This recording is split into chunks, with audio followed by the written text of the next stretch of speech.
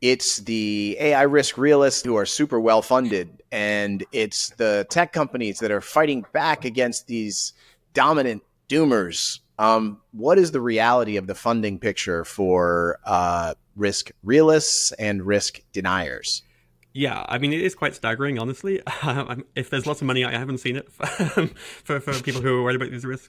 Um, I, uh, yeah, I think at most, like there's probably about a hundred million dollars spent on like all efforts towards like safety and policy and governance of AI systems that are more advanced. You know, they're looking at the timelines, they're looking at the trajectories of everything, and they're like, we can widen this gap.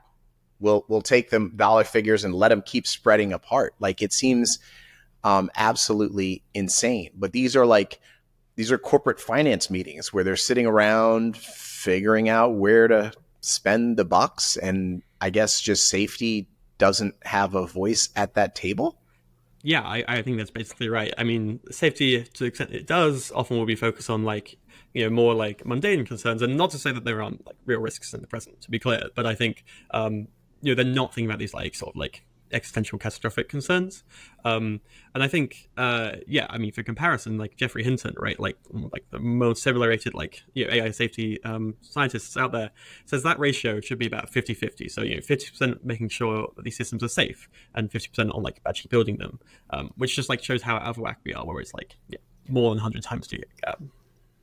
Right, and I, I even I hear him say 50-50, and I'm like is that if they started at an even start? Like now, where one is way ahead, it would almost seem you'd need to be like 20 80 to be anywhere reasonable. Right, right. And, and, yeah, and, and also like on that number as well, on the how much is committed to like safety stuff. Like I think I wrote that in like sort of late 2023 when OpenAI was like, we're going to commit 20% of our resource to like safety. And like subsequently, yeah. as we found out, like that is a very watered down commitment. Um, so even I would guess like you know that was me being optimistic on the 100 million. Like that's that's like yeah, much much less than um, those capabilities. So.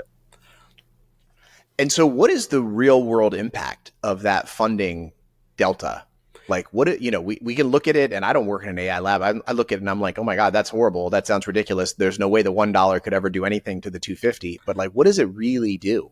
yeah i mean i think it just means there are like many promising like organizations many promising people who are like earnestly trying to make this like problem uh, better uh, who just can't do that work because they need pay they need like salary they need support um, you know we're talking about like people who are working with governments um, you know small civil society like think tanks up against like yeah billion dollar um, companies who are like you know, heavily lobbying them. Uh, it means like these people who are like doing this like technical safety work are in like the dozens. Like you know, the guy in his first lab is like, "Oh, uh, we just got a report that a model is scheming. Um, we're really worried about it. Uh, I will call the president. Uh, president, uh, our model is scheming. We need to shut all the labs down." President, calls the next head of the other lab, and the other lab's like, uh, "No, that guy doesn't know what he's talking about. We can't shut it down. It's fine. Whatever, whatever, whatever. Blah blah blah."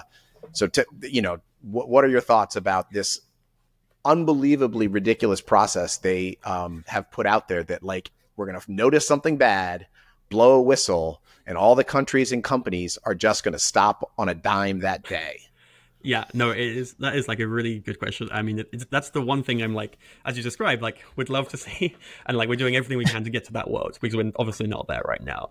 Um, so essentially, yeah, like, um, I often think this is like a lot of boring stuff, a lot of basic, simple, easy stuff. We're not talking about like cool, exciting, or difficult research. We're talking about like basically, like, you know, who in OpenAI um, needs to email who in the UK government, and how do they escalate that up the chain of commands? How does that get to like center of government in the UK. Yeah. And then if they gets there, okay, now what? Like, presumably the president's like, okay, shall we have a plan for this? Well, we need to write that plan in advance so that they can deal with it. They can't write the plan on the fly. They need to have a plan. Um, and then they need to enact the plan. And people need to know the plan. And so a lot of this is like super basic stuff that we can do right now. So as you deal with it in the British government, uh, does the fact that it is not a real today thing diminish its chances for success from governmental response?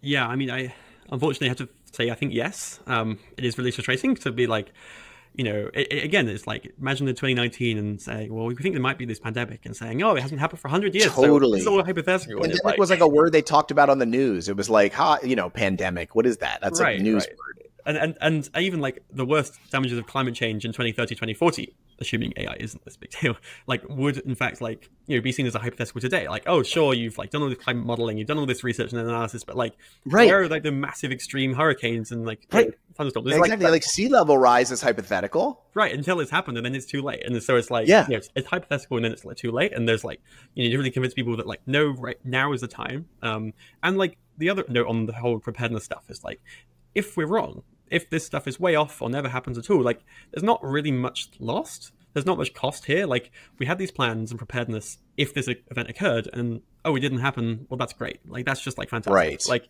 we're not really like stopping innovation. We're not stopping like all the positives that AI can bring. It's just saying if things get, take a turn for the worse, let's be ready.